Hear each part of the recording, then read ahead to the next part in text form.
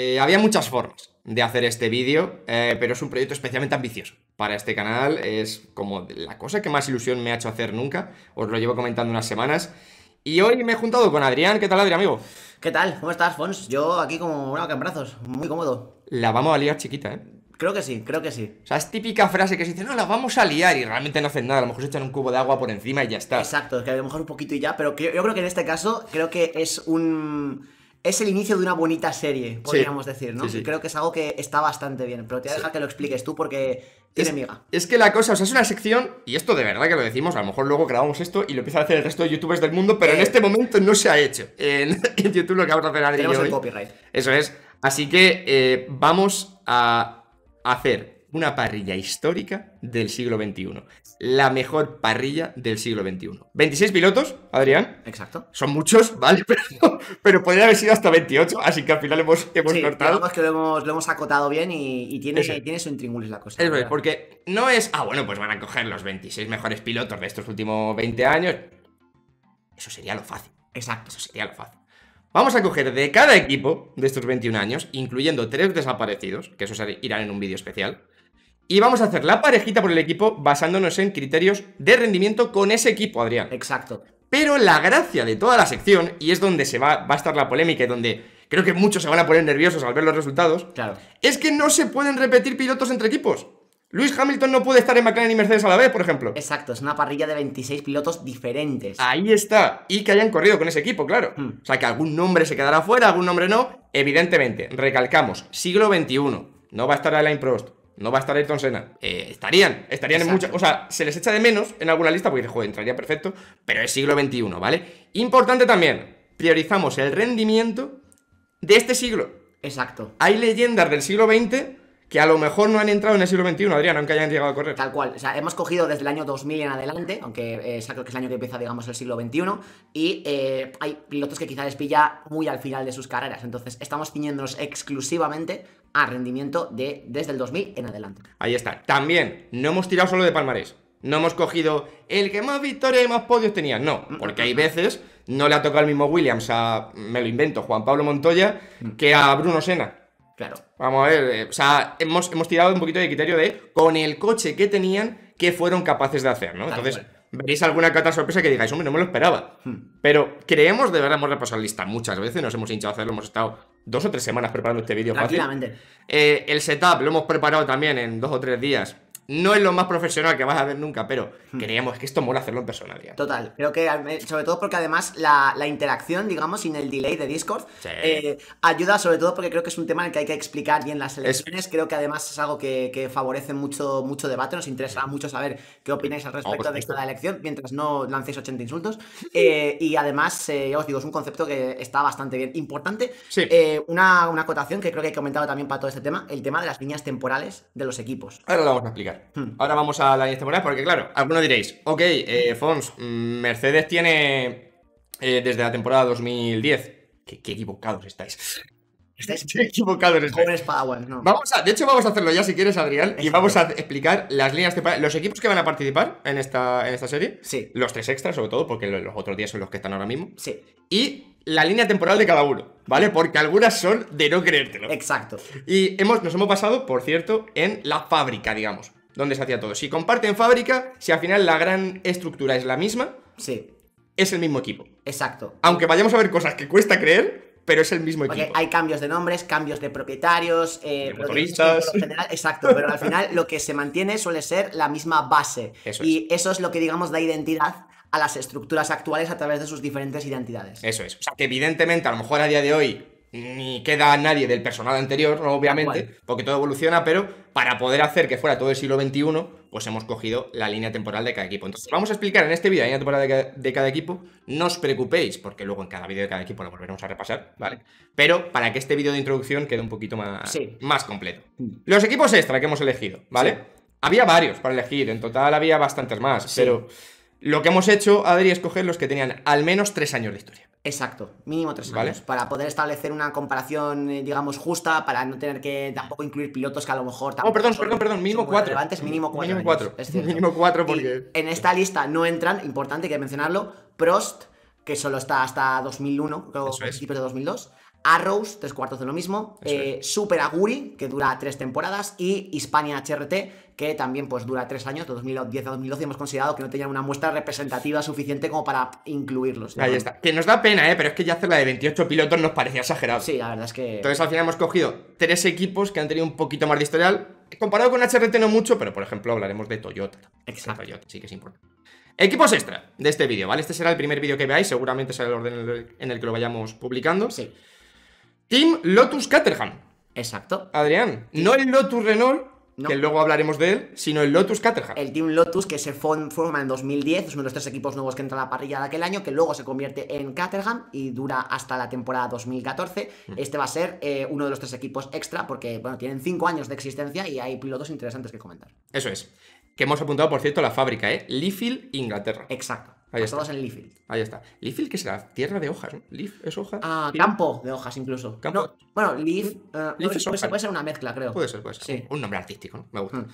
Manor, Marusia, Virgin. Vamos puesto al revés. Sería Virgin, Marusia, Manor. Dinnington, Inglaterra. Exacto, que cuando, cuando eran Marusia no estaban basados en Dinnington, pero cuando fueron Manor y cuando fueron Virgin sí lo estuvieron. Otro de los equipos que se creó en 2010, eh, como Virgin en este caso, y que desapareció con la identidad Manor después de la temporada 2016. Eso es, eso es. Eh, una pena, ¿eh? Que el Manor, que cuando tuvo el mejor coche, sí, se fue. Final. Una pena.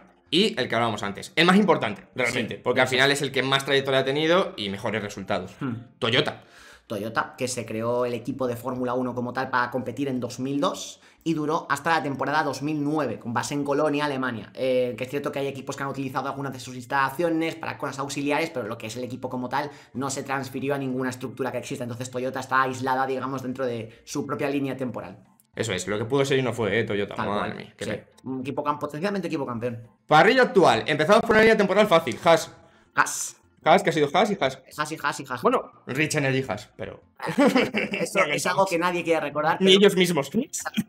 Así que... Tal cual. Ellos además están basados en la antigua base de Marusia, que no lo hemos mencionado, pero es Bamburi. Bamburi es donde estuvo eh, Marusia cuando existió con ese nombre. Eh, y desde 2016, pues operan allí. Tienen esa base en Inglaterra y luego está la base americana en Canápolis, que es un poco duo, duopolio. dos, dos, vertientes diferentes de verlo, vamos. Eso es. Aquí empezamos ya a complicarnos un poquito. Hmm. BMW Sauber, Sauber Alfa Romeo. Exacto, Sauber, que como bien sabéis muchos empieza en 1993, eh, como tal es, existe así hasta 2006, que es cuando se crea BMW Sauber, que es un equipo que es diferente de Sauber, porque es BMW la que compra el equipo. BMW Sauber existe hasta 2009, en 2010 vuelve a ser Sauber, y eh, recientemente se cambió el nombre, 2020 creo que fue, a Alfa Romeo, que es la identidad actual. Este equipo que está basado en Hinwil, la base de Hinwil en Suiza, que ha estado siempre ahí. Eso es, eso es, uno de los pocos equipos que no se encuentran en Inglaterra. que eso mola. Eh, Williams. Williams lo mejor como Williams. Es verdad que hubo aquel BMW Williams, pero no es lo mismo porque era más. Eh, no, era el caso de Sauber, que sí que compraron el equipo, era más un patrocinio. Si hubiese sido histórico, hubiera sido más complicado trazar la línea histórica, porque está, el tema, no, pero porque está el ah. tema al inicio de cuando empezó Williams, que era un equipo mm. independiente, luego se fusionaron con otro y bueno. Siglo XXI ha sido Williams, Williams y Williams, porque BMW era únicamente motorista, aunque mucha gente lo identificaba como tal. Y la base de Williams, evidentemente, en Growth. Eso es, en Grove, que tampoco se ha movido ahí, yo creo, nunca. No. ha estado en, esa zona. Al menos los últimos 30 años no. Pues ya está. Si lo cambia el año que viene, pues ya nos enfadaremos. Eh, Jordan, Midland, Spiker. Esta es increíble, ¿eh? Sí. Jordan, Midland, Spiker, Force India, Racing Point, Aston Martin. Todas las identidades del mundo. La más larga, ¿eh? Exacto. Del equipo que fue creado en 1991 para la Fórmula 1, que ya existía de antes, eh, en Juniors, que se convirtió en 2006 en Midland en 2007 en Spiker, en 2008 en Force India, en 2018 creo que fue recordar en pues Racing a mitad de temporada. Eh, y finalmente la última identidad que es la de Aston Martin. O sea, eh, a esencia práctica, para los que entendemos un poco de, carreras desde un sentido más profundo, es el Team Silverstone. Sí, es, poco, eh, que es donde están basados al lado del, circuito de Silverstone. Y bueno, pues eso, seis identidades diferentes en el siglo XXI. cosa. o sea, yo creo que es la más. Bueno, a ver, vamos a ir con alguna complejilla. Bueno, a ver, hay una que tiene un giro muy gracioso. Sí que no son tantos, pero tiene un giro muy gracioso, pero esta sería la que más nombres ha tenido, ¿no? Durante todos estos años. Exacto. Por supuesto, como decíamos antes, han cambiado muchas estructuras y tal, pero hemos tirado por esa línea, línea temporal y sin irnos más atrás, desde el siglo XXI. Alfa Tauri, perdón, porque algunos los he ordenado de ahora hacia atrás y de atrás hacia ahora. He querido mencionarlo, pero me he dado cuenta que era ahora que los hemos puesto al revés. Pero bueno, ahora vamos de ahora hacia atrás. Alfa Tauri, Eh, bueno, está la he puesto mal, de hecho. He puesto, he puesto Alfa Tauri, Minardi, Toro Rosso. Alfa Tauri, Toro Rosso, Minardi. Exacto, equipo que se crea como Minardi, que empieza a competir en Fórmula 1 en el 85, que se convierte en Toro Rosso en 2006 y que tuvo también la, la, redenominación hace unos pocos años como Alfa Tauri, basado en Faenza, Italia. O sea, Básicamente la misma estructura que conservó Red Bull en la antigua Minardi, solo que evidentemente con mucho más dinero. Eso es, Alfa Tauri escrito junto. Yo tengo esta batalla personal. A mí no me gusta la gente que lo escribe separado me enfada mucho. Pero además es fácil de diferenciar, porque además no solo se escribe diferente el alfa, sino que encima está pegado. O sea, no tienes, no tienes excusa. ¿Sabes qué pasa? Que como tienen el alerón delantero alfa en un lado y Tauri en otro, la gente se confunde. Esa, es mi teoría. Eh, tienen que trabajar en ello, Franz Tost. que echa ahí un, un ojo. Alpine, Renault, Lotus, Renault, Benetton maravillosa, maravillosa confluencia. Por cierto, hay que quitar una N del Benetton, ya te lo dije. Pero, eh, eh, si aparece, si vais a ver que hacen cositas mal escritas en el vídeo, es por una redacción original. Es posible que el grafismo de Benetton esté con dos Sí, no rayéis. es posible. No rayéis. Pasas que cosan. Benetton, que se crea como Toleman en los 80, luego pasa a ser Benetton, existe como tal en el siglo XXI, se convierte en Renault en 2002, luego pasa a ser Lotus oficialmente en 2010, eh, que existe como Lotus Renault, digamos, pero es mm, Lotus en ese vuelve a ser Renault en 2016 y la, renovación que tuvo en 2021 a Alpine. Pero en esencia es básicamente el equipo que en su día fue Benetton y que es la marca Renault. Ojo que en esto es diferente de lo que fue la Renault de los 80. Esto es una línea temporal separada, que son, no importa lo que estamos hablando, pero equipo basado en Enston, para lo que son los chasis, y Virisha Tillon Francia para los motores. Esa Lotus, que por cierto llega a motorizar incluso motores Mercedes. Para que podemos hacernos un pequeño el lío, ¿no? Pero bueno, mm. ahí está. Por cierto, eh, Alfa Tauri, Faenza Italia, que no lo hemos dicho antes. Esta gente en. Hemos dicho, Faenza, exacto. Y Viri, la zona de Francia donde hace también eh, los motores, si no me equivoco, es donde más desarrolla. McLaren, McLaren. Easy peasy, tal cual. McLaren que... Inglaterra. El mismo McLaren que existe desde el 66 en Fórmula 1. Es McLaren que vamos a tratar aquí, cortadito y limpito. Solo que la época Ron Dennis y la época Zach Brown, digamos, pero del mismo tipo. El pasado en Walkie. Sí, señor. Vamos con lo fácil, Ferrari. Ferrari, esta es complicada, ¿eh? No, pero ahí está. No, hay, muchos más que añadir. Maranelos, que es casi sinónimo de, Fórmula 1, y ahí están. Te alguien Maranello y, O sea, yo creo que sinceramente, si a cualquier persona que le digas Maranello no puede pensar otra cosa que no sea Ferrari. Es complicado, ¿eh? O sea, es que yo creo que no existe otra vinculación con nada de un Maranello que no sea mm, Ferrari, realmente. Maranello, increíble. Ferrari, ahí está. Red Bull, Jaguar. Exacto, que hay mucha gente nueva que no lo sabe. Sí, sí, sí. Mucha gente nueva que les lo dices y dices, ¿cómo? No, sí, sí. Red Bull fue Jaguar. Que bueno, Jaguar compró el equipo en el 2000 precisamente a Jackie Stewart, el equipo Stewart que ya existía, y Stewart en su momento también fue otro equipo anteriormente. Eh, bueno, creo que no, pero bueno, igualmente, Jaguar de 2000 a 2004 y en 2005 pasa a ser Red Bull, que luego se convirtió en el monstruo de las victorias que conocemos hoy en día, basado en Milton Keynes. Eso es. Por cierto, esto no lo hemos dicho y esto es medio polémico. El siglo XXI empieza en 2001 pero me da igual. Vale. O sea, quiero decir, nosotros lo hemos hecho tirando desde el año 2001, si no me equivoco, porque lo ponía como oficial, que el siglo XXI empieza en 2001. Lo hemos hecho en 2001, ¿verdad, Eh, no lo sé, me mira, está me está Es que no estoy seguro, ¿eh? Pero puede ser que lo hayamos hecho desde 2001. Vale, pues 2001. es que me ha puesto claro y digo, Madrid, esto lo teníamos hablado ya. Todo mal. No puede ser, ¿sabes? Sí, desde 2001. Desde 2001, ¿vale? O sea que, ah, empieza en el 2000. Bueno, vais vosotros y habláis con internet. Exacto. la fuente. con internet. Claro. Es la duda. Pero bueno, hemos hecho desde 2001, ¿vale? O sea que la temporada 2000 no contaría. Empezamos a contar a partir de la temporada 2001. Sí. Vale. Ahí está. Eh, bueno, que Red Bull Jaguar, Milton Keynes, Inglaterra. Y el último, y aquí es el que tiene el giro más gracioso. Mm. Porque claro, va por de ahora hacia atrás. Mercedes. Por cierto, el orden nos hemos basado en la temporada 2021. Exacto, el orden de constructores de 2021 de peor a mejor. Eso es, hemos hecho mm. ese, orden, ¿vale? Mercedes, Brown GP, Honda y Bar. Y Bar. No nos olvidemos, Bar, eh, el equipo de British American Tobacco que se creó en el 99, que fue Bar como tal, aunque muchos lo denominan como Bar Honda, pero la Bar, hasta que en 2006 lo compra Honda, 2009 hmm. Brown GP, con el chasis heredado de Honda que ganó el Mundial, 2010 Mercedes. El mismo equipo basado en Brackley.